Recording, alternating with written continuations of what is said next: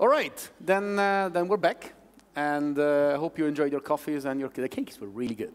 Um, so I promised you that this would be like the second part of, the, of today, right before we go for drinks. Uh, it's going to be the more, the, the naughty part of the evening. So I, have saved all my really evil questions for, um, for now, for this session. And obviously, we do have an hour and a half to fill. Uh, we'll see how it goes. Hope it doesn't involve any punches or anything. As I said, I promised hugs at the end of the evening. So hopefully, we'll get there. But then let me start with, with a different. So we've, we've talked a little bit about, obviously, registries both CCs and UTLDs trying to do their own thing, trying to bypass the registrar um, channel, or simply like registries that uh, want to impose their way of doing things on registrars. Now, and obviously, clearly, when it comes to um, new TLD registries, there is a simple answer that, that registrars can, can give them. It's like, I'm not going to carry your TLD. Um, but we also have issues. So for instance, there was a case, a, pretty famous case, and I know we have Nominet in the room, so I hope they don't feel like um, that I'm pointing the finger at them. But there was a case when they changed some of the regulations uh, related to .uk, and a major German registrar decided, yeah, we're not going to sell .uk anymore. So the question I have, and I'll start with Michele, because I, I think we, we need a punch. Um, okay. So uh, particularly, I'm going to start with you, particularly because you are actively trying to get people to switch from your local CCTLDs, which you, you, you feel they're not cooperative, um, to a different extension that you feel is more appropriate to your customers. Um, so do you see yourself in a not so distant future dropping .ie things don't change? I would love to say yes, but the reality is no. And that's mainly down to the fact that, you know, for us as a company, much as we hate it, we still sell a lot of them. And we make quite a bit of money from selling them. Uh, if I could drop, the, drop it as an extension easily, I would, definitely. Um, if, I was, if I was based in any other country in Europe, I would not carry it as an extension. That, there's absolutely no doubt in my mind. But unfortunately, the way the Irish market is, you, if you want to sell any, any domains and hosting and other services within that market, you need to deal with the local CCTLD, no matter how insane and awkward they are to deal with. That doesn't mean I'm going to take it lying down or quietly, but you know, hmm. that's the reality. Peter, you also like you're, you're also very famous in, in Denmark and in the community for being very vocal about your local CCTLD. Thank you. Do you see a future where you would drop .dk if things don't improve? It has uh, crossed my mind several times, but again, as Michele says, um, a lot of my customers unfortunately want this uh, CCTLD. It would be easier for me sleeping if I just drop them sometimes. But um, so do you do you actively try to steer your customers to other TLDs or? It doesn't matter how much I try to steer them because being Danish is part of uh, uh, we saw a presentation earlier with 80% of uh, uh, TLDs being used in Denmark was .dk. It, I, I can maybe push that down to 75, but it will still uh, be a, in demand. So, so you, you, you, do feel that, that if you, if you, even if you dropped it like in, in the list of available TLDs, people would go somewhere else? Yes. Okay. We've, we've taken it as far as if you do a direct search for domain.ie on our website, our, the website will ask you, are you sure you don't mean domain.irish? Um, what's been the reaction to that? Uh, besides the IEDR, but what, what's been the customer? Well, I mean, sure, some of them probably have registered a few. Um, you know, position, the position that it appears on the website is irrelevant. It's absolutely irrelevant. As long as we offer it, people will register the damn things. Mm -hmm. But this is the, the complete opposite to the situation we have with new TLDs. So, you know, in the case of both Peter and myself, we have a demand for a TLD that we don't particularly want to offer, whereas there are plenty of TLDs we're, we're quite happy to offer, and there's no demand. And that's a bit of a problem because, you know, we've all spent those of us who are directly accredited have spent a lot of time, energy, effort and resources in doing the technical integrations, um, dealing with all the stupid contracts. Um, fortunately, a lot of, of registries realized that electronically signing contracts was the way forward. So I still have my right hand. Um, but not your finger. Not my finger, but yeah. Um, so I don't know. It's just like we've invested a lot. So in some respects, it's kind of like, okay, I need to get a return from this. But at the same time, how much of it is it? Is it a case of saying, okay, it's not working, let's not put any more money into it? Mm -hmm. And you know, we've had those discussions internally. So now we've got reached the point where if most TLD registries that come to us, we've now whittled it down to the point it's like, okay, which backend are you using? Do you uh, do post payment? and if they say they're using some weird backend registry we're not in integrated with, we're just like, no, go away you know, or maybe come back to us in a year's time or two years' time. Because unless the TLD is incredibly attractive, I'm not going to bother carrying it. Mm -hmm. There's no point. I, I, think this brings an interesting point and a question I wanted to ask to Jimmy at Atomia, because there is also something that makes this relationship even more complicated. Um, clearly, one of, one of the issues that the new TLDs have brought along in, in, much, in a much broader extent than before is dealing with premium names, to give an example, right? or also the fact that new TLDs have to support DNSSEC, which is something that many CCTLD registries have been trying to actively push.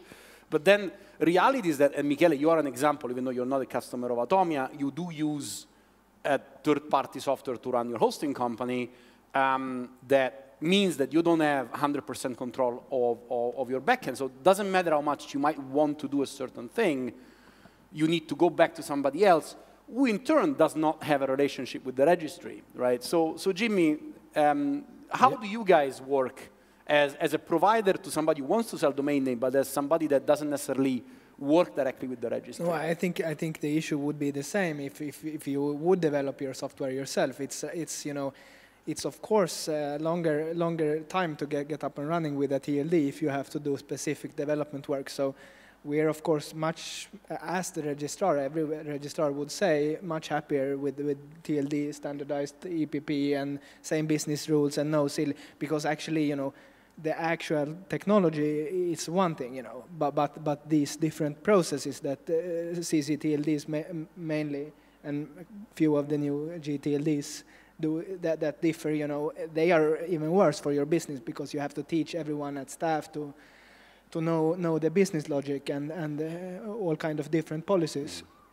So I, I, I, would say that there is a large demand from our customers, which is registrars in one, one, one way, uh, to, to, to have this uh, easy to use standardized uh, TDLD, T, GTLD, and, and CCTLD processes.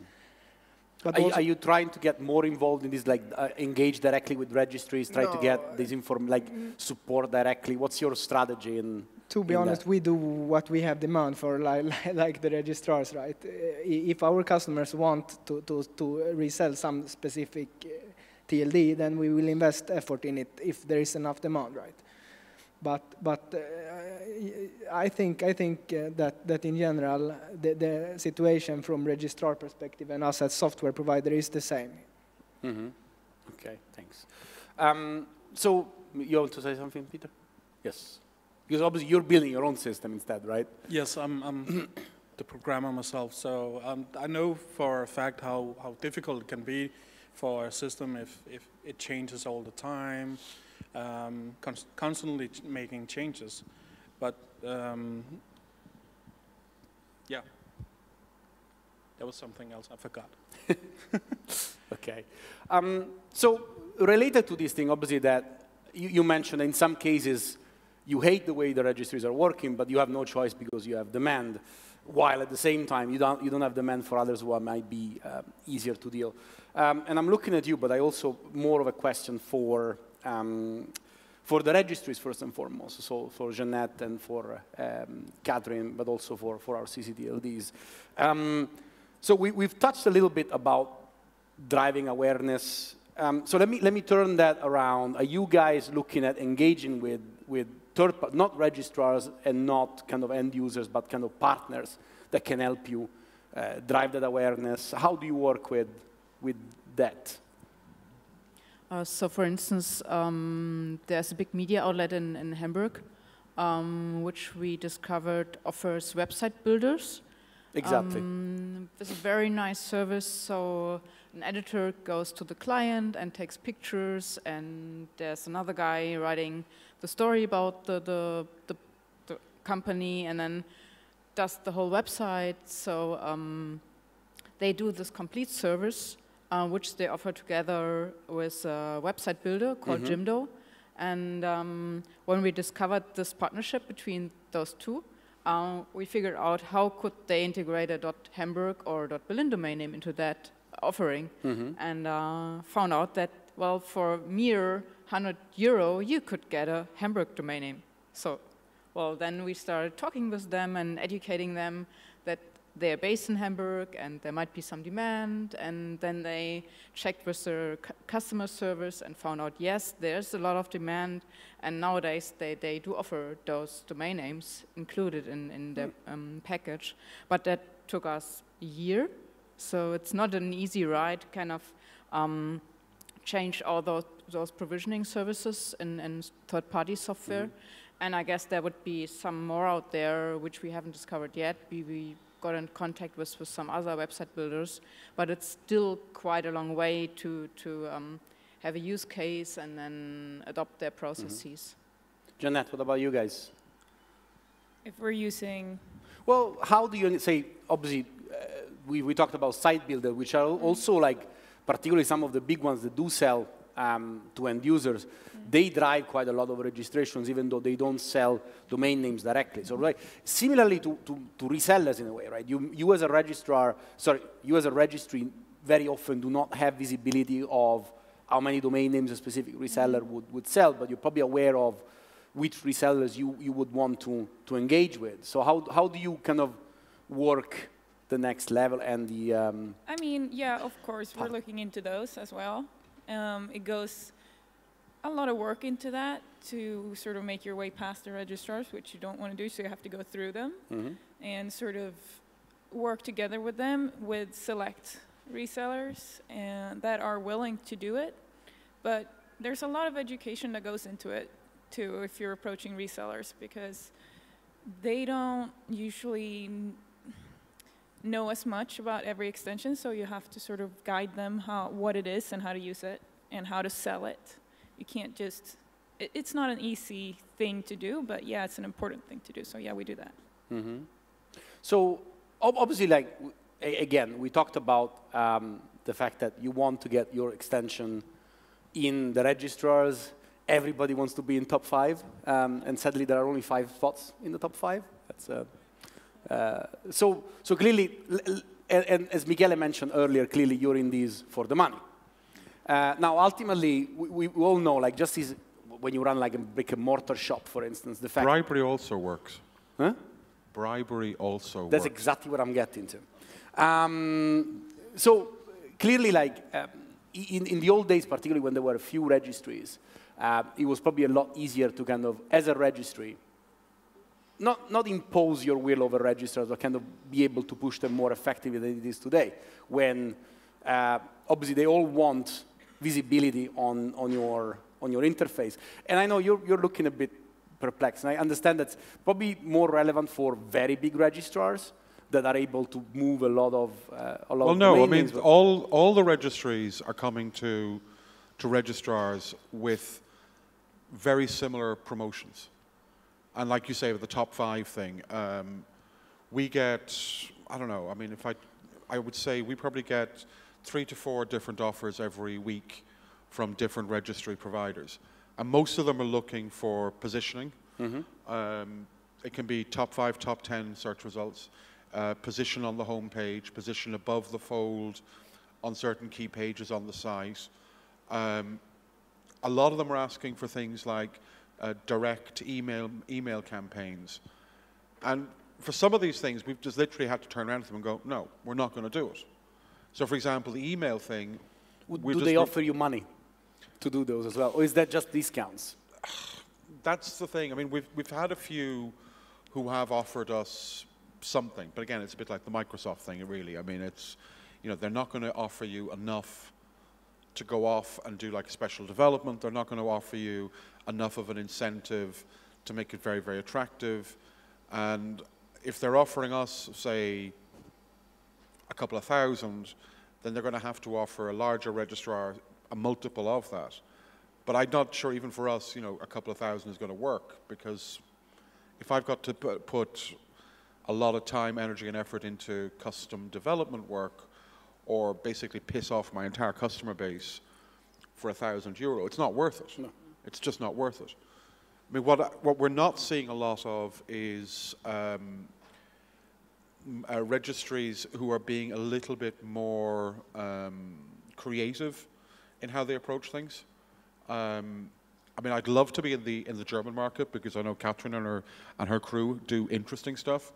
I mean, they gave me a USB key at an event about two years ago, which I still have, by the way.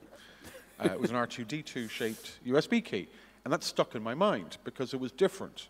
It It wasn't just the Berlin? standard. Sorry. Because it has nothing to do with Berlin, or Well, nothing has nothing to do with Berlin, but it's like you, you know, you want to capture the attention of a bunch of geeks. Give them an R2D2 shaped USB key. It'll stick with them. Give them a standard USB key. It gets thrown in the bottom of your of your suitcase. You get back to the office and you go, "Hey, I've got a bunch of USB keys. Who wants one?" It gets thrown out, and that's it. You know, nobody cares. But most of the marketing we're seeing in terms of the co-marketing promotions, they're boring. They're really boring. I'm not seeing people coming to me going, hey, we know you're involved with, I don't know, for example, my company, we sponsor the SME Awards in Ireland. So it's the Blacknight SME Awards. None of you qualify to enter, I'm sorry. Um, nobody's come to me and said, hey, we would love to see that to be, you know, the Blacknight .cloud SME Awards or something like that. I'm not saying that you want to, I know, but just, I'll pick on you because you're standing there. Yeah. Um, if somebody came to me with that kind of proposition, it'd be interesting, and maybe it's something we do. But this kind of oh, top five, top ten, I mean, it's boring, Mm-hmm. and nobody's nobody's going to be interested. I don't know if others have any thoughts on it. Peter, come on, help me out here. yeah. I'm thinking exactly the same. I, by the way, still have the same USB key on my table. Yeah, but it's a cool Never USB looked key. at it, but it, It's a cool just- USB It's key. very cool. It's very cool. Um, but but we do get these same offers as as you, I presume, and and I cannot email my user base uh, due to local law, and I didn't ask permission to do it, so I can't at all. Um, and yeah, doing a top five, whatever placement of is is well Hmm. not interesting. Does But it do- work? do Do, you- do, actually do top five domain names sell more? Yes. Is, is- okay. Yes. yes. It was a rhetorical question, but No, but the thing is this. Okay, here, here's the thing. I mean, let's call a spade a spade. .com is still king. So why would I move .com, which I know is going to sell? It's an easy sell, rep- and replace it with dot, I don't know, dot Amsterdam. Sorry, Michiel, I have to pick on you at some point. But I mean, you know, why, why would I, like do the that? way you're dividing the positive with me and the negative with him. Keep going. That's just because you owe me lots of beer. Um, And you what, know I I mean, deliver. you know, if, if, if Dot Amsterdam came to us and said, hey, we want you li- to put us as top five, I'm not even integrated, I haven't even signed, so it's completely irrelevant. But I wouldn't do it because there just wouldn't be the demand. Now, part of that is due to the fact that I don't have Dutch users. Mm-hmm.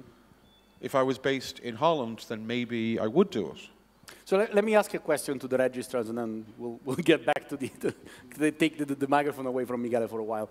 Um, so, how much of your marketing efforts when it comes to domain names comes from you guys? So, how much of it is your own ideas that you go out and I say, oh, this month I'm going to do a promotion on .new, for instance, uh, as opposed to to say Helge coming to you and saying, oh, we have this very good promotion, we want to, to do this thing with you. Uh, uh, what's the division of labor there? Yeah, you can, Jimmy can start, okay. I'm sorry. Yeah, Helge is is on me every day, so it's. But again, he lives in the same city you guys, so it's, hard, it's yeah. hard to avoid him. It's just No, Is he uh, stalking you? Yeah, Is he it- Okay. a little bit. Um, but uh, yeah, it's. Uh, I would say when it comes to uh, NU and NSE, it's quite a good discussion. I would say. I mean, they want to sell more. Yes, uh, we don't think they should push the sales that much, perhaps. Uh, but um, yeah, I think we have a good uh, discussion, and uh, they are open for new ideas as well. Uh, and then they come up with some ideas that are really terrible, but uh, yeah, it's okay. So what was your feeling when they launched the domain pirates? You guys were a partner, right? Uh, we wasn't uh, a part of uh, the domain pirate, no, uh, for several reasons. Uh, but uh, I heard it was su- successful, so great. Okay, so we'll see what they come up with now. No, maybe uh, Yeah, I'm, we've seen I'm- R2D2. Maybe it's like the next yeah, time. I'm wait, waiting for that one. don't wait for the J, for for the for the Darth Vader to come and take your domain name. No, we'll see. Oh. I'm not going to charge you for that idea, Helge. Peter, what do you think? Um, usually we bring the ideas to, to the registries or just simply do a, a miniature campaign ourselves. Or it's a result of we find there's a discount of a TLD that we perhaps didn't know, not, didn't know of, but or uh, for other reason there is a discount, and we simply use that as a opening to, to make a little campaign on Facebook or whatever. Um, but it's very seldom that people come with plans to us that we think are super great. Um, of course, we heard about this domain pirate thing as well, but it's for Swedish entities, which there are not that many of in Denmark. So, So you felt a bit left out. uh, yeah, it was kind of not interesting for us. We, we, we do have Swedish customers, maybe 20, I don't know, 40, but Yeah. how much time should I use on that? Exactly, that's, that's ultimately the point. But the reality is that we know, obviously, particularly some of the ones that launched very early were very pushy in calling and, and suggesting amazing um, campaigns and, and trying to, to, to buy their way into flows, right? And we know also that particularly some of the bigger registrars even have a price list of how much this place on my homepage is going to cost you and so on, to the point almost that, that it feels sometimes that some registrars are trying to make their money on the registries rather than on the registrants. No? So, so a question for, for our registry uh, friends here. Um, and I don't know whether you've, you've paid for placement at any time, uh, whether you've considered doing it. Um, so let's see. At what condition do you think paying for placement on a specific register would be worth that kind of money? What kind of return would you expect from that perspective? Is that like number of registrations, visibility? What, what kind of argument would make you change your mind or, or confirm your mind in, in this topic and, and decide to give cash to a registrar? It's always difficult when you start off with a new registrar eh, because you haven't gotten familiar with their registrants yet, and all registrars are different and they have different tactics towards their customers.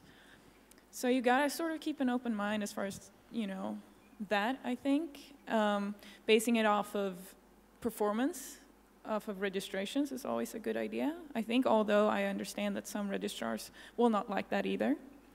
Um, but we're balancing on a very fine line because, as you hear the registrars talk here, and it's understandable, I mean, they want things to be streamlined and they want to push numbers, but they want natural sales in a way, Mm.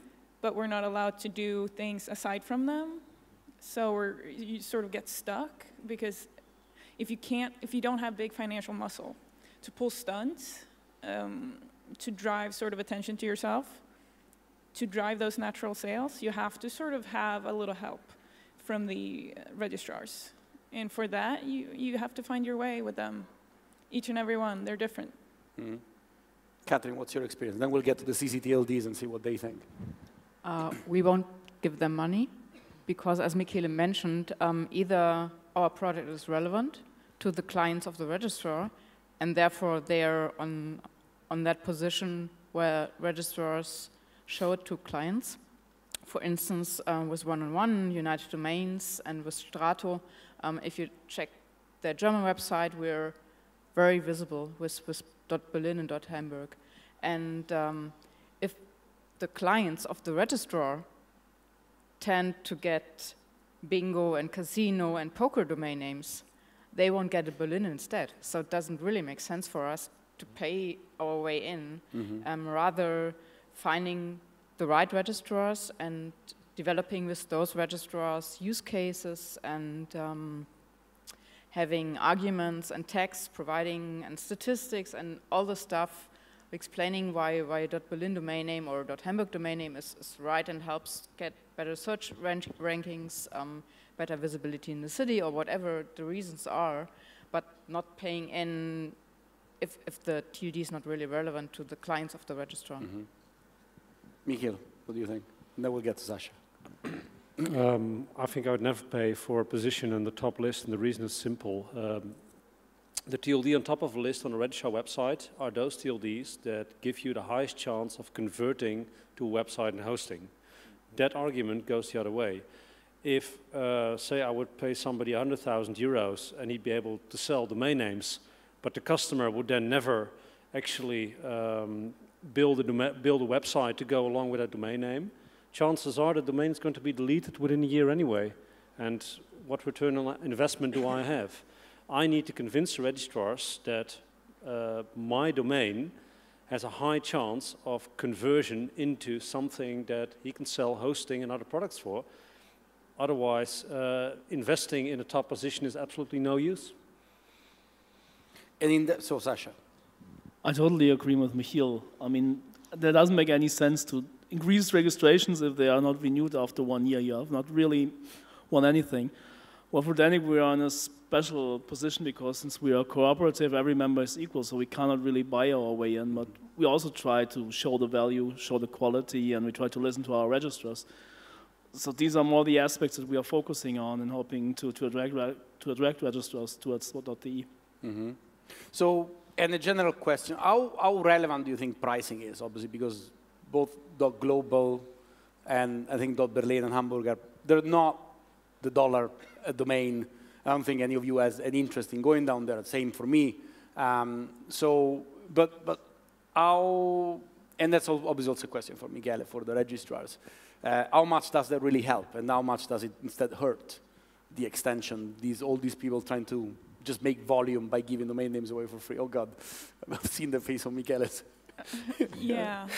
I mean, like I said before, the whole volume obsession is is not really interesting. Um, I think it should be a little bit more on the revenue side and um, in reality is just because we're used to seeing really cheap .globe or .coms and all of those, it doesn't mean that it has to always stay that way. It has to be like any industry in the world this one too has to develop and change over time. And there's going to be resistance, but I fully believe that um, having a, you know, a price between 50 to $100 for a domain for a year uh, for businesses, mm -hmm. it shouldn't be that much. It's not that big of a deal.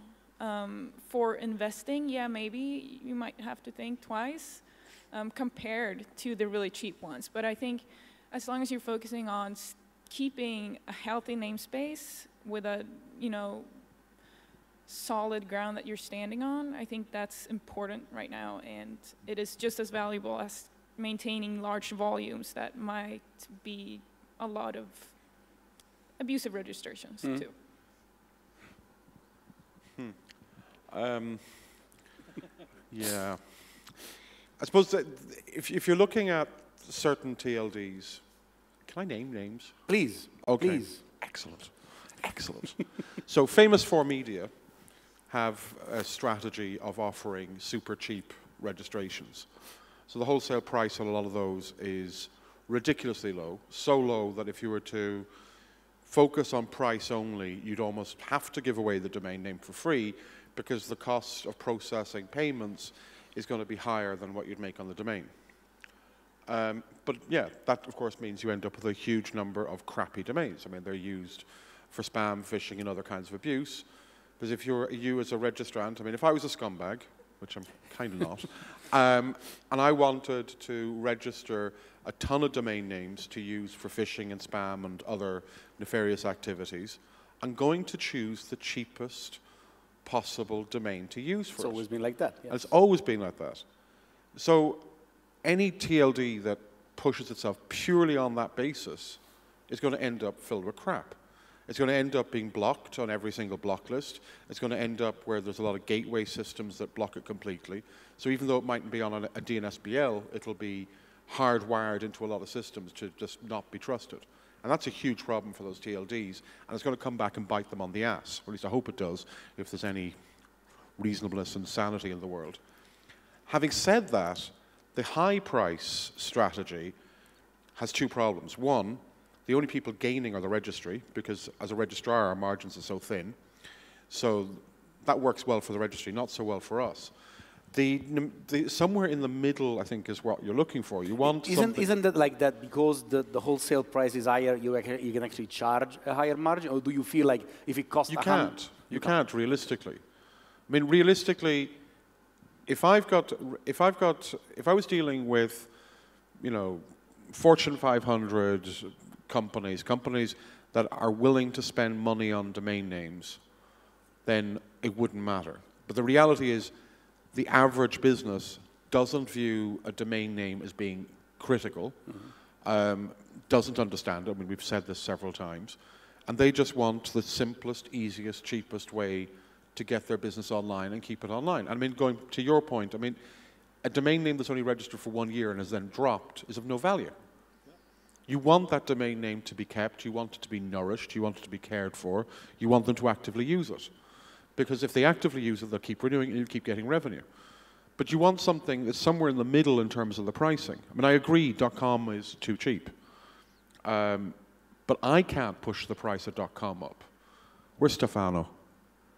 They can, picking on GoDaddy. GoDaddy and the larger registrars can push the price up, but they can't either, realistically, because they're always going to have somebody who's going to be marketing on the basis that they are not GoDaddy. Uh, we won't mention any names, but I think we all know who I'm talking about. So I mean, that's that's a that's a complex thing, and I don't I don't have an answer for you. But I, I'm not convinced that you know these high-priced ones are the solution. I mean, there's one TLD they're looking for. What is it? Five to ten thousand euro for a one-year registration. Like, who the hell's going to pay that? Well, we also had, talking about alternative business models, we also had TLDs that wanted to, to charge, what, $50,000 for one domain name with a whole suite of security, um, security services around. That was, in a way, a novel approach to, to the business model, but also that one doesn't seem to have worked out that well. So the question is whether, whether there is really demand for alternative uses of, of a domain name. You mentioned hotel before. We've seen a couple of others. I mean, dot, dot tel, you had one, I had one. Peter, do you still have yours? Your dot tel. Yes, I'm the second user. Okay, sorry. Okay, so there's, See, two, there's the two of us left. The reason I had mine so long is because I let it go and he wouldn't let it expire. He kept renewing it and I needed the third user. Ah, okay. Were you charging him? no, Oh, ah, okay, that's why. I begged him, can you please delete it? And he did eventually. Eventually. But that's the thing, is a lot of these, even HIV, they're, HIV, they're great ideas in theory, but then the moment you have to spend time explaining it to the end customer, and, and in the case of Dotel, the, the, the moment you need to install an application on your phone to make it work, that kind of most people would say like, it's just a domain name.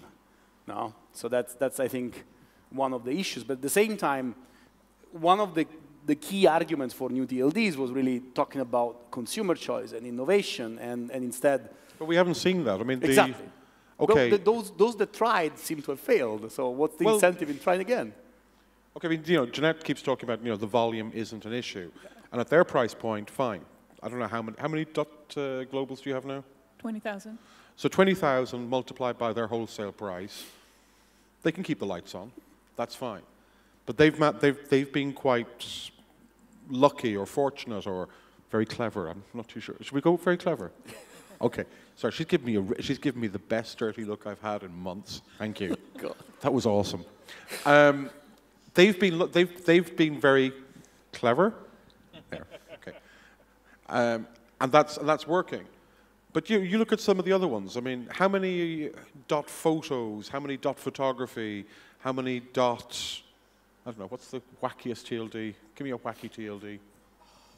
Something stupid. Oh, dot horse, for example, which I think actually is a cool TLD. But we both sell Dot horse. We sell dot horse. Yeah, so do I. We've actually got a website on blacknight.horse. Uh, I don't. C- can we pull it up?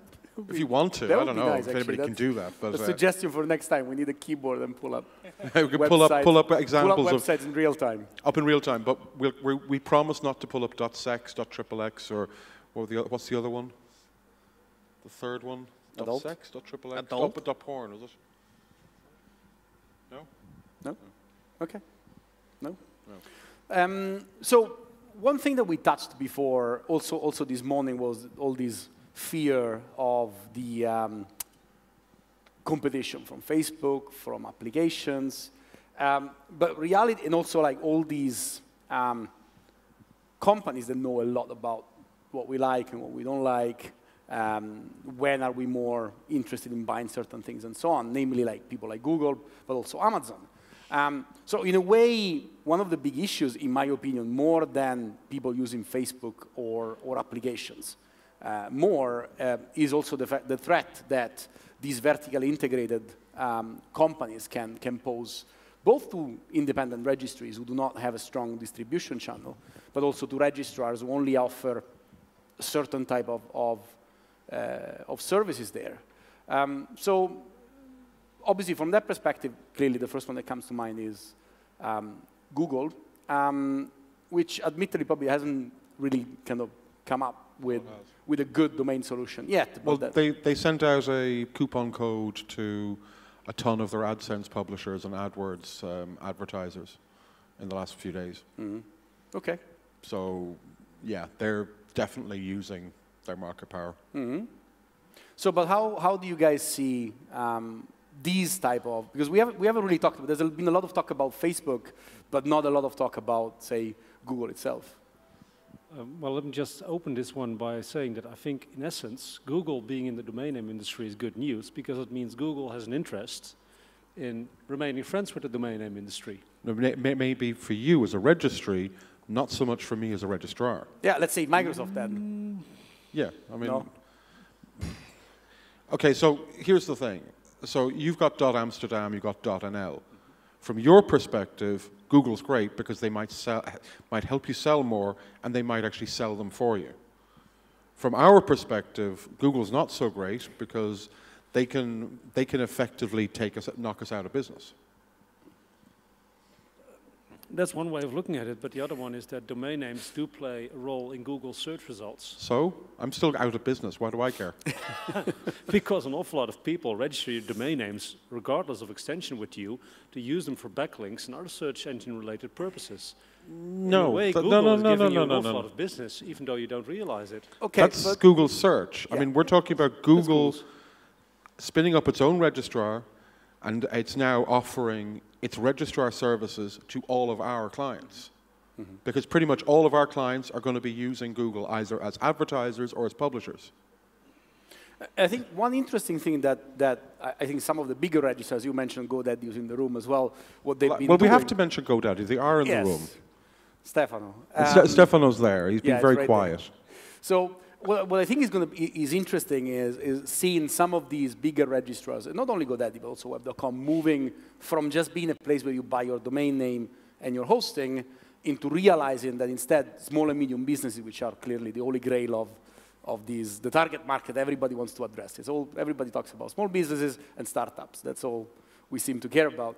Um, so they've done a lot of acquisitions. They bought a number of, of other services that kind of help them build a complete solution. In a way, that's their way of probably competing with, with the likes of Google. Uh, but how do kind of small, mid-size registrar or registrar very focused on one market? How do you, how do you defend your role as the biggest registrar in Sweden or uh, strong player in Denmark or the biggest registrar in Ireland? Well, when it comes to Google uh, or Facebook, I'm not that afraid, actually, I would say. Uh, I remem remember I was actually here seven years ago and talking about the threat from Google, and uh, still they haven't come, so um, I don't think it will either. Uh, perhaps uh, it, because Sweden is uh, too small of a market, uh, or something else, but uh, I don't see it actually as a, as a problem. So How, how are you evolving your offering to be, are you, are you interested in being more than a hosting company? Or, and maybe. So maybe I can ask Jimmy next to you, like, how many of your, ca- because obviously you guys are big on OpenStack and all the cloud, and, in this case I say cloud, not dot cloud, so just to be clear, I'm not. Well, I would say that the amount of interest we get from uh, businesses to be started uh, through OpenStack in contrast to being domain businesses is overwhelmingly in favor of cloud and, and VPS and OpenStack. You know, no one wants to start a domain business now. It's the ones that started it 10 years ago or 15 years ago sometimes. Hmm.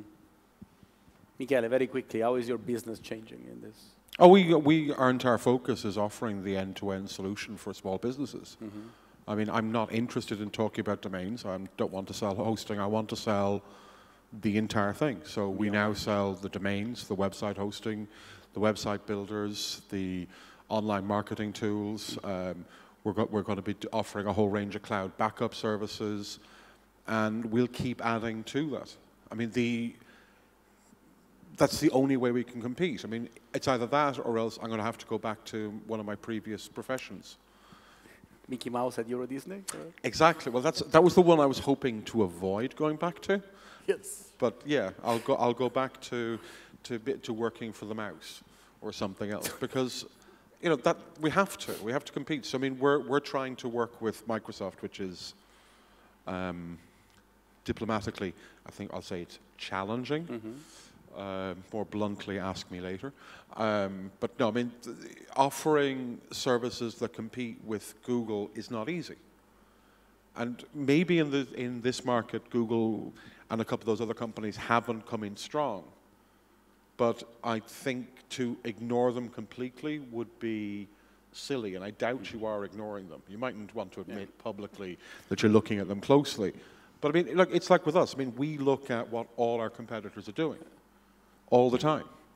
So let me ask you one thing, because obviously I have, I have a whole panel of European registrars, European CCTLD operators, European software suppliers, right? We heard Evgeny Morozov earlier talk about the importance of knowing what happens to your data and, and ask questions about how is your data used and in a way ultimately being in control of your own data, which I think is an argument that particularly for the European audience is, is very relevant, maybe not as much for, for the Americans, uh, clearly. So how do you kind of use that argument of saying being a European CCTLD or European-based new TLD, even though you have, we do all, all have these, these interesting relationship between, and, and kind of need the balance between being a European entity following European laws and a relationship with ICANN, which is an American organization that asks us to follow certain um, contracts which might not always be in line with our legal requirements here. So, but how, how important do you think would be that argument? Um, and how much can, can kind of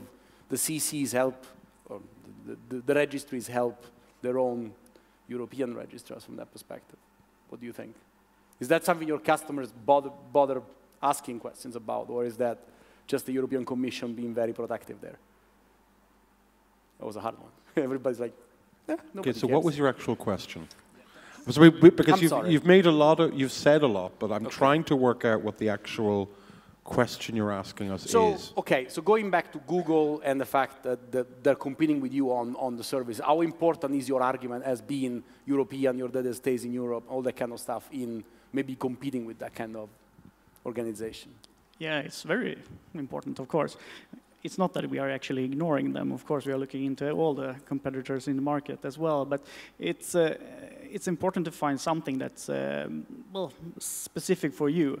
And for, for us, for example, then we we are talking for um, about uh, support, for example, which is the most important well tool for us. Um talk Swedish. You can call them every day around the, the year and so on. And that's something that specifies us from, uh, from Google, for example, if you ever try to call them sometime. So, Jean, yeah, is that a question? No, sorry.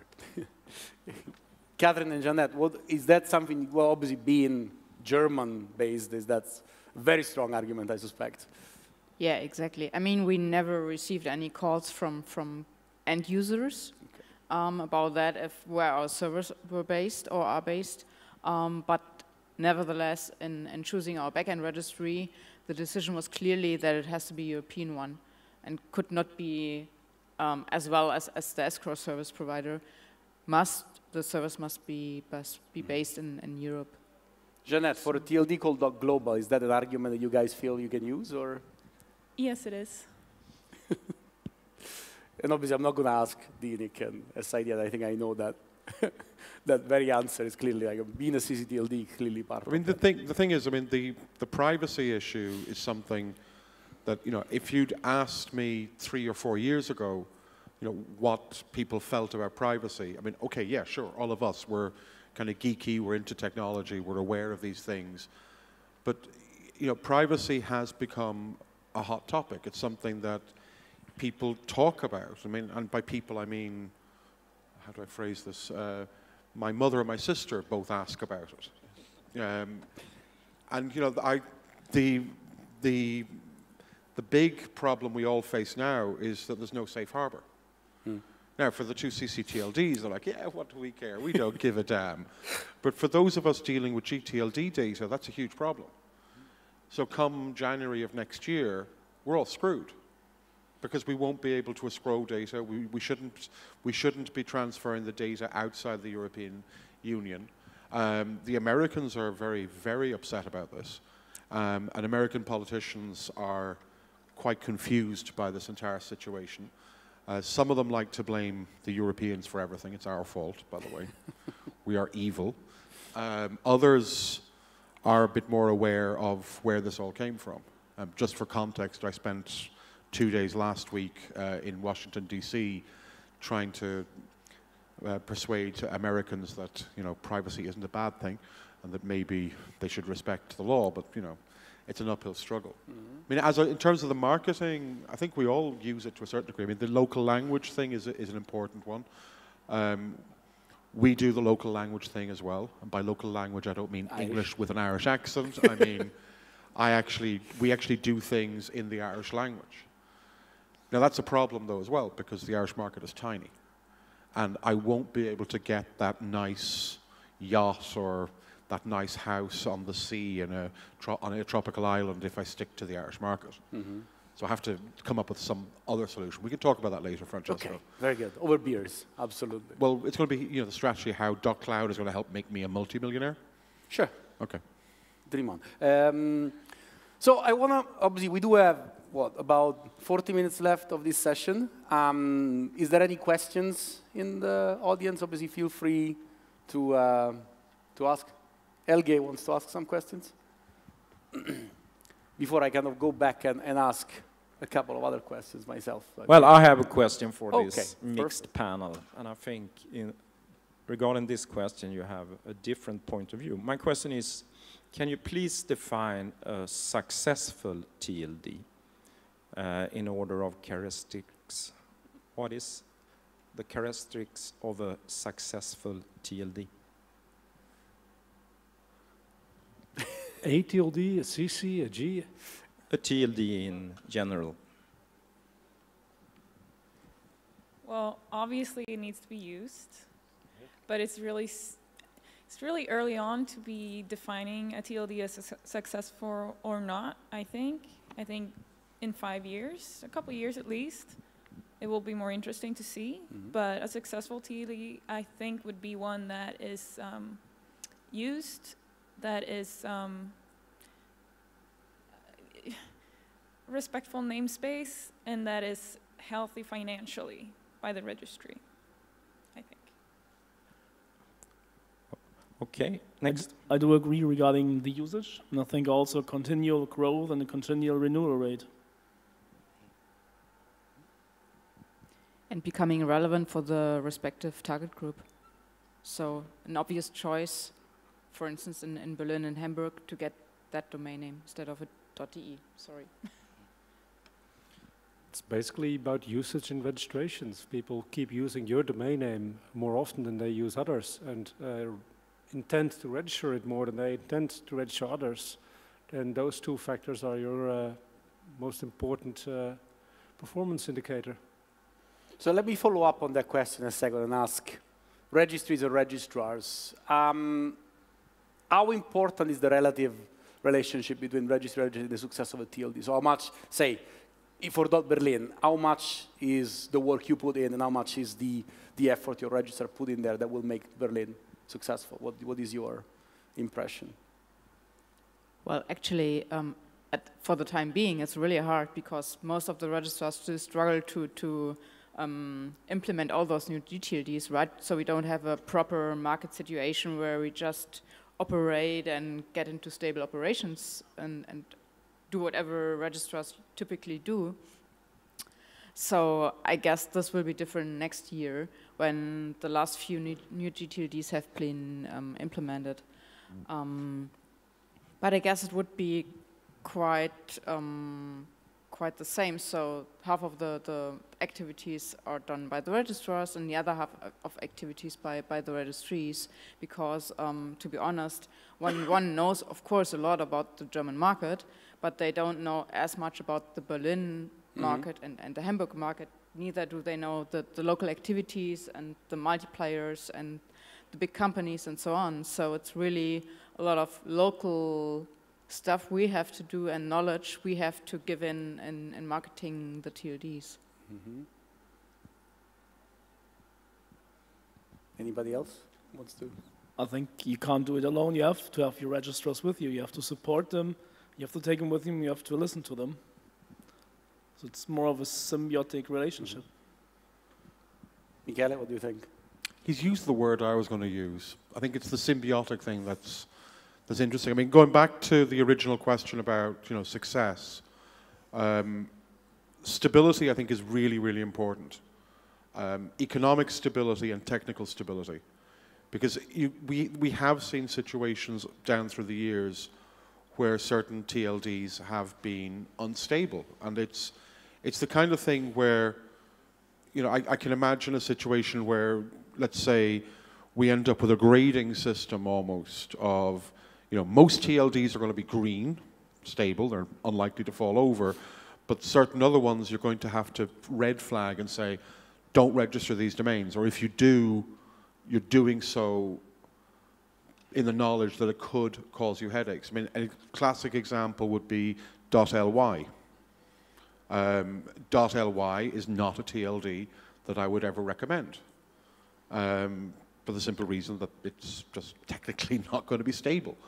Whereas um, .global or .cloud, technically, there's absolutely no issue.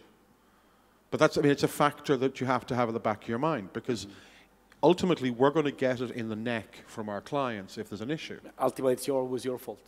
Well, yeah. I mean, yeah. if they're if they're dealing with us, it's our problem. I mean, we had the rather ridiculous situation a couple of years ago where a client who had only registered the domain name through us but wasn't using any other service uh, started sending my staff very, very abusive emails. I mean, ridiculously abusive. I mean, this was a kind of abuse level 10 unlocked. Um, and it was all because the hosting provider they were using was having problems. But, you know, as far as they were concerned, they were dealing with us, so it was our problem. Mm -hmm. um, the financial stability is, is key, because I think, you know, if the domain registry is going to go out of business, that would be a problem. That would be a big problem. And if you go to um, domainer events and you're talking about new TLDs, one of the first questions the domainers will ask you is about the financial stability of the new TLD program. Because from their perspective, they're treating this as a purely business transaction. I'm investing in this product. How do I know it's going to be there? Mm -hmm. And then all the other things people say about, you know, serving the right market and all that is great. But stability, I think, is really, really important. I mean, it's like with us when we choose a vendor for a, for a product or service. We have been bitten on the ass several times where we've invested time, energy, effort, and everything else in, in rolling out services using something, and then the company's gone belly up. I mean, that's not a good experience. Yeah, I know. I want to ask the same question to Jimmy from Loopia also because then I want to ask that question to, to the guys from the sea. The yeah, relative relationship of registry and registrar in the success of a TLD? How much is that your responsibility? How much is their responsibility? Well, as a registrar, I must say it's uh, most on us, of course. uh, but I think it's a little bit depending on what TLD you're actually dealing with. Uh, I mean, some do more than the others, and uh, but the end, it's it's we that actually sell the domain, so we are doing more, I would say. Uh, but also, it's uh, it's also well, cooperation. Mhm. So, any of you, I know Dan is not in the room, but any of you two care to, com- to comment on that? Obviously, you're the registrar's manager, so there's, come on. As with anything these days, I would say that it will have to be a cooperation. In Union, uh, the registry and registrar should have a relationship that further the financial and technical stability.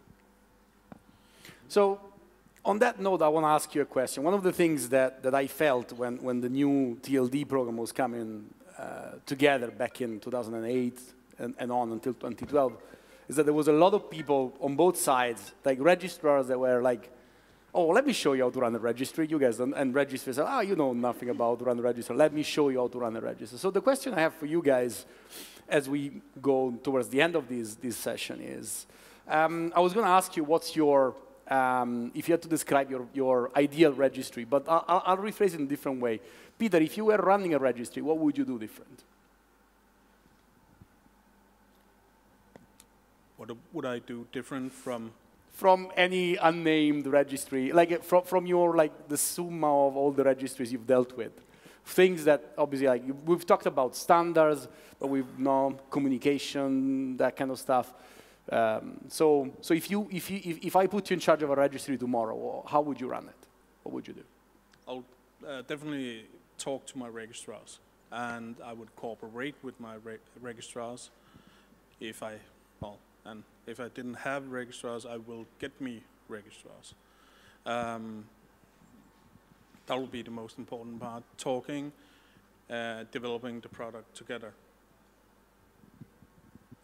Jimmy? Yeah, I agree on that. I mean, have a discussion, an open discussion, uh, and well, talk about uh, all the problems or whatever it might be that uh, that comes up. Uh, so I would say that's uh, that's the most important part.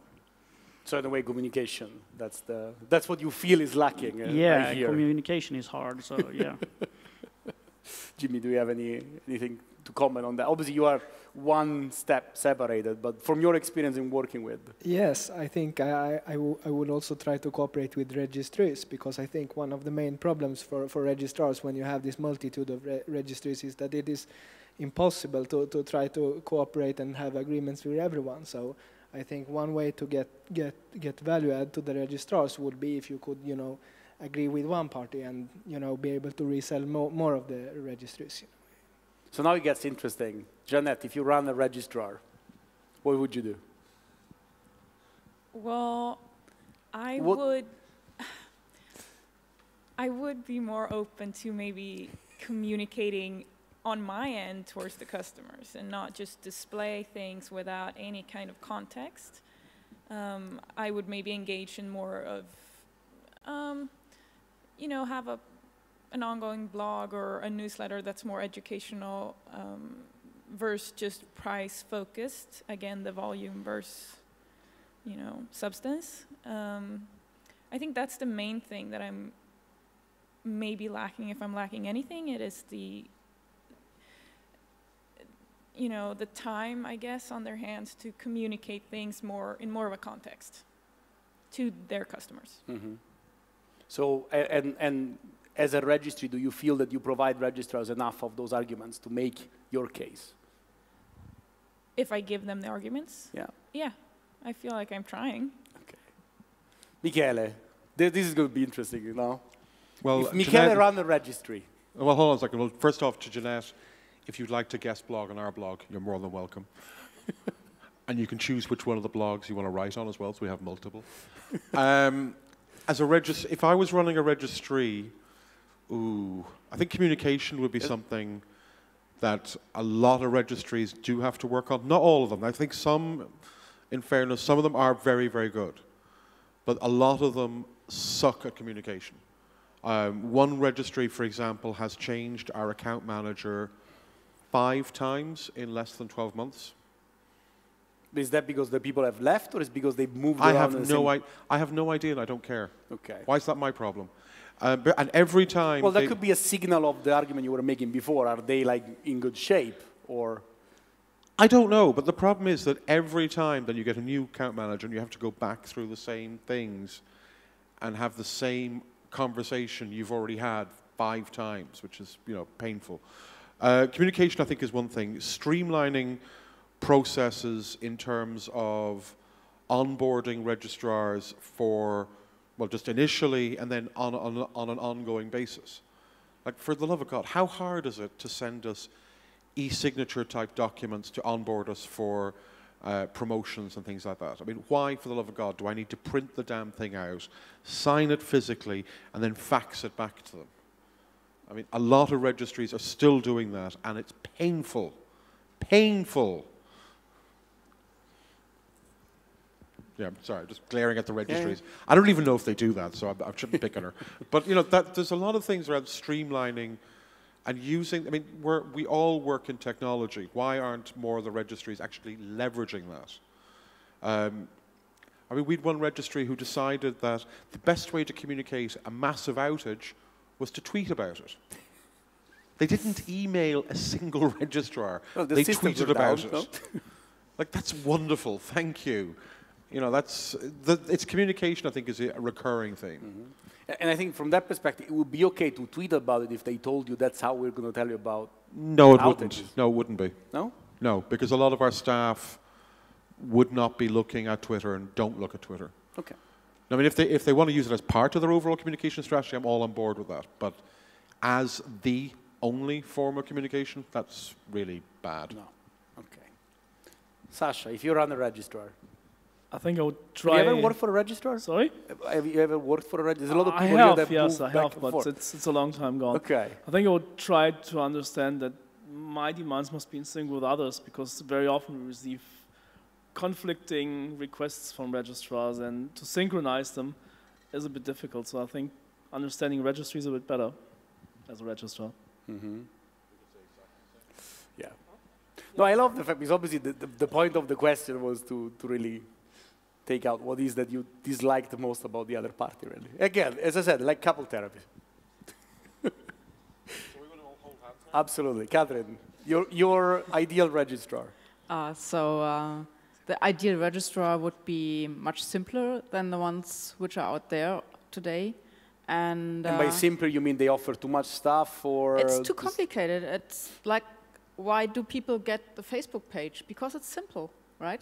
So um, if getting this magic web online presence, website, whatever people call it, just with one or two or three clicks, instead of um, being confronted with, with MX records and POP3 versus IMAP versus Yeah, but 301 forwarding, whatever thingies there are. I mean, Mhm. look at websites. There's so many different wordings out there. People get so confused. So I would really encourage registrars to kind of limit and hide this complexity as much as possible. Okay. Michiel. Um, what I would do if I ran a registrar, uh, sell out? Um, no. I'm not buying from you. Well, there's a lot of people out there buying registrars, so that could actually be a good. I mean, that's the same thing with new TLDs. A lot of people got in there hoping to get somebody to buy them out. Right. Yeah, your former employer is getting into that game big time. No, but the actual thing i- i- is that um, as a registrar, you are working, and registries and registrars are working in a market that is slowly approaching a saturation point somewhere in the future. So, uh, as a registrar, my first order of business would be to either go and become the biggest, uh, bigger than GoDaddy, which could be challenging, or really, really specialize and focus yourself in one specific market and one segment. And when I talk to registrars, um, they hear that I'm from marketing, uh, which, uh, as Peter just indicated, sometimes surprises them.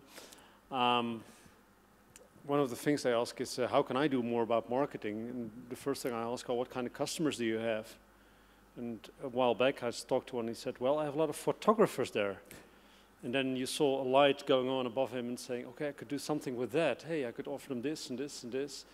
And it was kind of funny to see, but that I think is, is the way a lot of registrars are going to have to approach their business in years to come. Either try to gain volume and become one of the biggest, or really get to know your customer and specialize on a certain segment. And for the majority of registrars, the latter choice is going to be uh, the one that holds the most prospects for the future. I think, I mean, clearly one of the issues there is that my impression is with very few exceptions, neither registries nor registrar really know a lot about their customers in the first place. So asking that question is actually the first one to raise, like, because, and I think that's also a symptom of the, of the issue that we have with, with search and matching, with all these extensions, matching the right customer with the domain name they're looking for. Isn't that a symptom of the fact that we don't really know what they do with the stuff they buy from us? And that's, that's where probably like Google and, and, and Amazon can, can, can kind of eat our lunch if you want. Jimmy, you want to say something? Yeah, I'd like to add something. It's, uh, it's at the end, it's actually about keeping the registrars happy. I mean, it's quite simple. Uh, and sometimes the, uh, the Is that the same as keeping the registrants happy? No? Yeah. Some, some CCTLDs, some, some w- w- w- might obviously might call you a scumbag, and then why should I keep you happy? Yeah. And you're, you're stealing money from my customers. Yeah, of course. me, But, obviously, but sometimes I get the feeling that the registry actually forgets that we are a customer. Uh, sometimes I get the feeling that they just see us as something they must have, but we actually are a customer of, of the registry, and uh, they should think about that every now and then. I think, I, but that's the other thing as well. I mean, I can. some of us have direct relationships with, with that entity.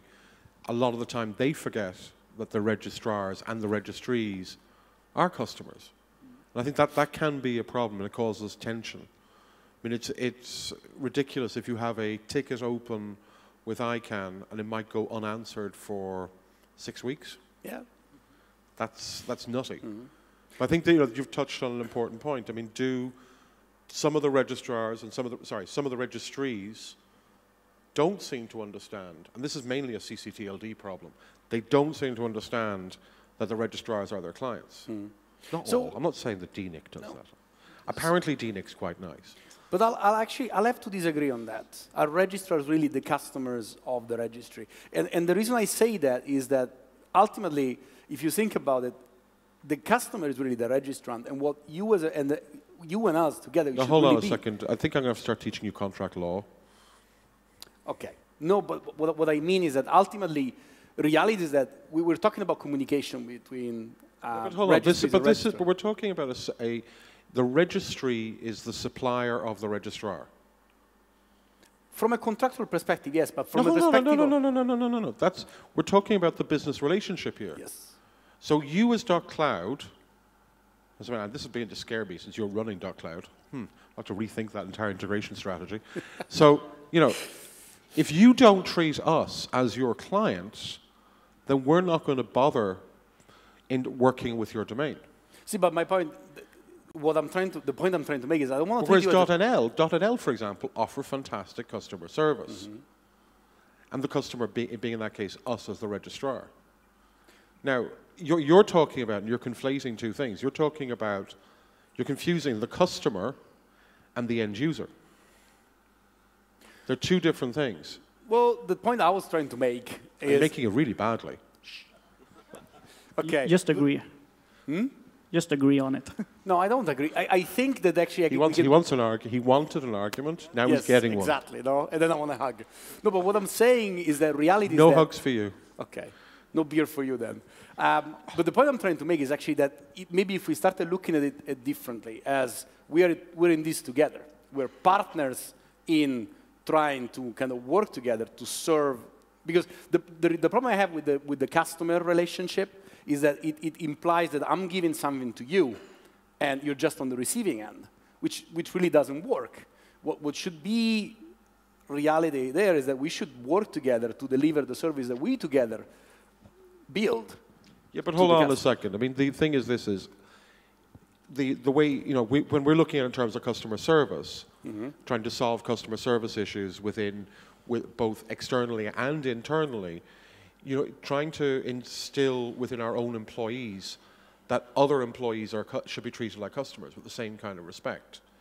Now, what you're talking about is something slightly different. What you're talking about is that kind of partnership together, but at the same time, the kind of customer service thing is something, and that relationship is important. So I think we actually do kind of agree. We do agree. What I'm saying is that for me, a partner is more than a customer, right? Not, not an alternative to being a customer. You're both a customer, but most importantly, you're a partner. We need to do this together. Otherwise, if just like But are all partners created equal? Hmm? On paper, yes, uh, but reality is that not all of them will. So you're not, so you're not interested in a monogamous relationship? in? You're not, eh, you don't have monogamous relationships with your partners? So I mean, does that mean we have to get you tested? That's a possibility. Well, I haven't really launched yet, so I'm, I'm just getting out there right now. So I don't know. You're just throwing it out there. yes. I have one Okay. question. When you talk about building a service together, is it really a service that you build together? Because usually you have the end customer who wants, I mean, you know it better, but who wants a web Mm. shop or who wants his web presence, and you just need the domain for We- it. but we so it's just a provide part of the service. The, the main point is that all, all we do, just like end customers don't really care about the domain name alone, just like they don't care about the hosting So without what a you're, way to what get- you're trying to do is you're trying to actually make yourself more important than you actually are. Am I? Well, I mean, that's what be- going on this. I mean, let's, let's face it. So let's say you take your average small business. Mm-hmm. So they have a website, they have email, they're, they're, they've got online marketing. They're spending more money with, on the online marketing than they are with anything else. The domain is just one little part of that. I think I can confirm that one. We have a, uh registrant survey for .nl, and what we do is uh, we let the registrar send it out. We say, well, these are the questions we want to ask for .nl, and then you have room to add questions of your own. Uh, I think 20 re- or so registrars participated this year. They added five questions each, meaning 100 questions. None of those 100 questions were about domain names. They were about hosting, they were about cloud, they were about uh, software as a service. They were about e- practically everything but domain names. And that kind of shows you where you're really at in, from their perspective. And the problem with, I think, with many registries is you tend to forget because you yourself only work with that specific component. And that's, and that's a very fair point. I mean, if you go to, I've gone to CENTR meetings. Um, you've seen me there. Yes, I have, I yay. And, you know, the thing is that, you know, if you ask any of us, most of us sell multiple products and services. And just for those who don't know, CENTR is the association of the European CCTLDs. Yeah, so they allow the odd GTLD in there sometimes Yeah, as well, which is weird. but yeah. Observers, right. And, you know, we, the domain is just one thing. I mean, the, the problem I see a lot of the time is people talking to registrars as if we only sell domains. My biggest customer doesn't have any domain names with us, not one. And they're the ones who pay enough money to keep the lights on a lot of the time. I mean, you know, we, we sell wireless ISP services, which is fun. Um, you know, we we'll sell anything we can sell that's anyway related. So going back to your thing, Francesco, do you feel that you're not getting enough love from us? Is that it? I mean, From you, yes, but many others, maybe I could, I could feel more. it's this Oh. polygamous relationship I think we're having problems with. We need to talk about that. That's your Irish Catholic background. In Sweden, we do Ooh, things from the. Italian Catholic. Oh, I'm Swedish, remember. All right, I think we're almost done. I just have one last question um, to close this couple therapy session, uh, as I like to call it. Um, so the question is, has this been useful to you guys? What, what, how the things that came out of these two and a half hours of sitting there and, and talking, how are they going to affect the way you relate to the other party going forward? How is that going to change your, the way you relate to registries, Peter? Well, I've been in this business for 14 years. Um, So you give up hope, that's what you're saying. I did that 10 years ago. Um, but no, it, it changes from year to year. So, and right now we're all talking about new GTLDs. Uh, I just recently posted a link to a Sony site on my Facebook, and one of the first reaction was, "Is that a TLD?"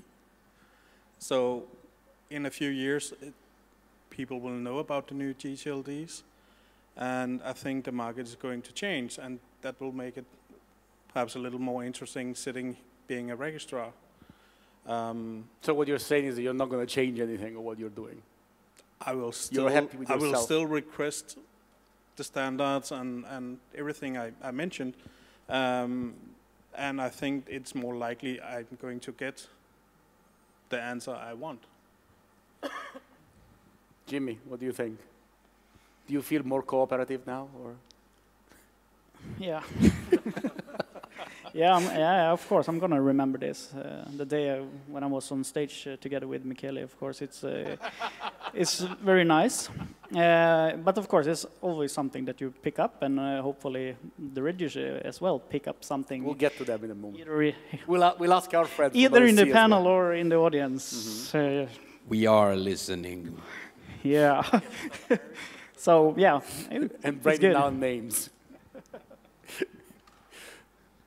Well, me being the, the registry or registrar, I, I don't think Well, maybe. you as a supplier, no?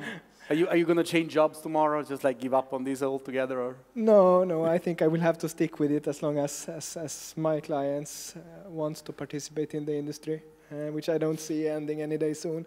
But I think, you know, this new GTLD business means that much of my focus sh- shifts from, from, from, from uh, From doing important things to no, do this no, stuff? from, from, from, from, from my clients, the re- registrars being uh, partners with the registries towards more, you know, uh, reseller relationships with a few, few large uh, registrars. So this, I, I guess, changes my work a bit. Mhm. Jeanette, I mean, what have you learned from this session? Do you feel like hugging Michele now? yes. no, but I, this is nothing Michele, new. you're welcome. We knew since before said that they're yes. busy and they're overwhelmed and they have tons of shit to do and they don't want to be bothered, basically. I knew that. I mean, now they know a little bit of our difficulties too. This is not a one sided thing. Um, maybe they'll come around eventually. We'll try. Okay. Michele, you'll get the hug later af- when we're done. Well, I am going to hold her to that. Yeah. Um, Plus, we're doing it on camera. Excuse me? We're doing it on camera for the world to see. Oh, okay. Um, I, look, I think these kind of these kind of conversations and dialogues are they can be useful. They can be. Inter- it's interesting to get the other side. I suppose the question really shouldn't be asked of us. It should be asked of the audience. We'll get And- to them, yes. But, but I mean, you know, that they're they're, the ones who ca- who um, have had to I- sit well, through the sit lines are very strong. I don't really know if there is an audience left there, but No, there's, there's still a few there. I mean, I don't know. They could all be doing their emails or updating their Facebook pages or whatever it is that they're doing. I don't know. I can't really see. Or trying to, or still trying to register a .ie domain name that they started that process this morning. Um, and if they're lucky, they'll get it done today. I don't know. I mean, th- the thing is, is if there's, if you know, if, if you can, if some people can come away from this thinking, okay, I have a better understanding of some of the pressures and some of the things like that. But I mean, ultimately, most of us are open to talking to registries. Just we don't like being talked at by registries. good point. It was very interesting to get some other insights from, from registrars. I think especially the marketing part was uh, interesting, the information about it. Same here. I think I can't add anything. Yes? I I actually like the way the, the this kind of discussion puts into perspective what it is we're talking about. And the only thing it does when we're talking about the market here, registrars and registries, it leads me to feeling that it's the tires and the engine of the car discussing about who's most most important to drive. I think my conclusion is That's what um, I'm talking about. if one of us is missing, a car won't drive at all. So. Well, without engine or tires, I tell you. Yeah, but okay. Here's the thing: if we if we didn't if we didn't offer .nl, speaking on behalf of my company, it wouldn't impact us at all. Yeah, but if you didn't offer domain names, Anna, hold on a second now. Hold on a second. Are you speaking for all registries or for your own? uh, I, I'm okay. Perhaps I'm assuming a bit much here, but yeah, we're talking about. Okay, so you're going to have to talk to Roelof about getting a pay rise. Yes. What do they see? What do you think? Have you learned anything? Of course, we have learned a great many things. Um, and I, I give Michele a full, uh, uh, or, uh, full authority to speak for .se and .nu in this question. So uh, tires and engines, uh, domain names in general, if they go away, hosting businesses, IP addresses are quite hard to remember. They, they are, especially if they're IPv6. They can Yeah, be uses this long. Nothing wrong with IPv6, by the way. Yeah, so I think it's been a great discussion. Okay. So anybody else learned anything today, or feels like they want to share? Hallelujah. Uh, Okay, I, I came in, in in the afternoon. My name's Nenna. Uh, I, I have about 10 of those domain names for myself. Uh, quick, quick one. Why do people register domain names? Have, what, why do you think we register domain names? That's one thing you should think about. I see a lot of, the word is bickering, but I don't know if I can find a more diplomatic one, which is very interesting. I feel like a child watching the parents um, argue. Uh, yes, domestic disputes and about. So I'm asking, is it a love relationship or hate relationship between the, fa- the parents? What is it exactly? Are you in a civil union? Are you about to divorce? What exactly is happening in this family? So just so that kids, and users, actually know how to find a way out. You make an excellent point. That's exactly what I'm saying. It, it's, it's a relationship where the parties don't always talk to each other, when the parties always assume way too much of what the others think that they're doing. Um, so, yeah. Good And point. there are parties where the two don't love each other anymore, like Blacknight and .ie. Exactly. Of course. That's exactly Lots and my lots point. of kids. All right. Anybody else wants to compri- contribute anything? There is somebody waving a phone. That was very smart. Very smart of you with the phone.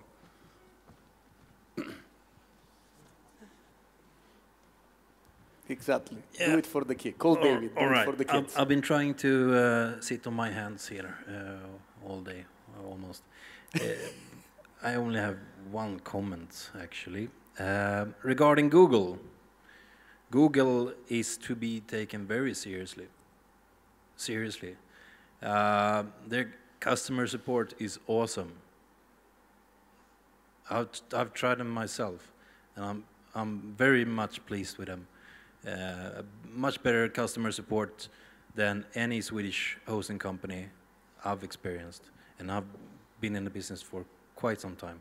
In what way? In what way is it better?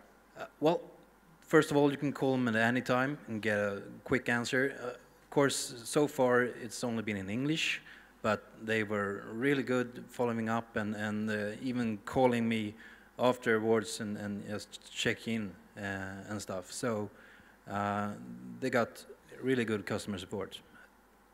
Um, another thing, we've been talking about Google Domains, the, the, the domain name service.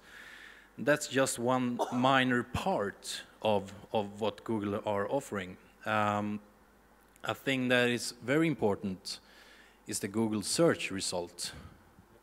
And the Google search result has actually been changed. Uh, right now, it's only been changed in, in the States. This is for the mobile Google search, which about half of the users are, are, are using. Um, in the Google mobile search, no longer domain names are displayed. Instead, they're using breadcrumbs, you know, from websites. So the domain names are no longer visible in the, in the mobile Google search. And this will roll out throughout the whole world, in short. So what happens when the standard Google search also implements this feature? You know, this, this will affect both uh, registrars and registries when, when, when the end users don't see the domain names or the, the TLDs. So beware Google. Yeah. Yeah, but more than be afraid, probably try to see what you can do to um, to be part of the of the innovation rather than be part of the uh, old school that gets washed away. I guess if you can't stop them, join them. Or well, no, no, that was not probably not a good.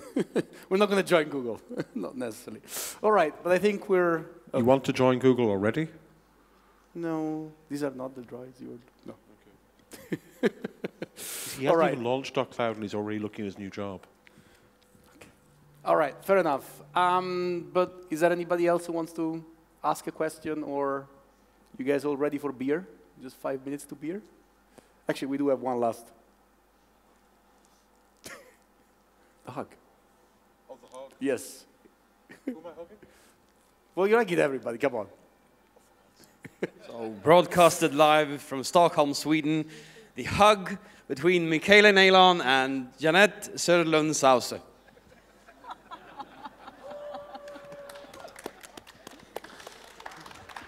Registries and registrars together. Oh, yes. Well, uh, very happy. No? Yeah. See, now the. Exactly. All right. So, my friend Francesco, thank you so much for moderating this uh, afternoon. Yeah, thanks for having me and for still having me. Uh, and as Francesco said, we have about five minutes until the uh, refreshments start being served outside in the expo area. And um, as I said earlier, earlier this morning, uh, at around 8, we will start the social event for Nordic Domain Days and meet up at the doors leading out from the expo area. So mingle, drink, have some beer, some wine here, uh, get, yourself, get yourself uh, all uh, refreshed for the social event, and we will see you back in the expo area. All right.